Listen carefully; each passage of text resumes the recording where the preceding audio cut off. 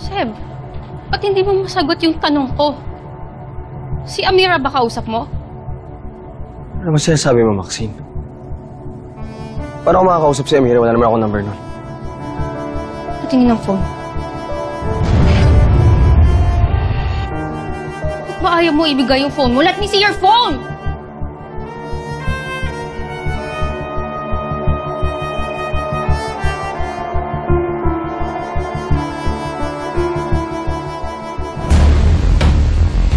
Pwedeng malaman ni Maxine kung bakit ako hawak sa leeg ni Amira.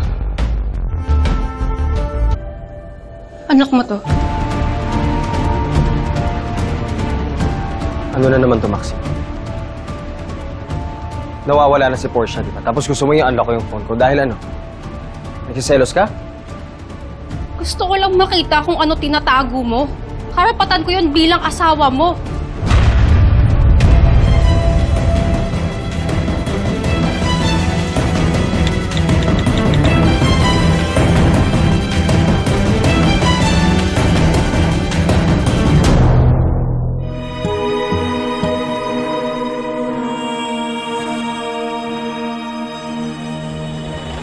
Ano na ata may nahanap mo? Ma'am, sir, excuse me po. Si Jewel umiiyak. Rinig po kasi hanggang kwarto niya yung sigawan.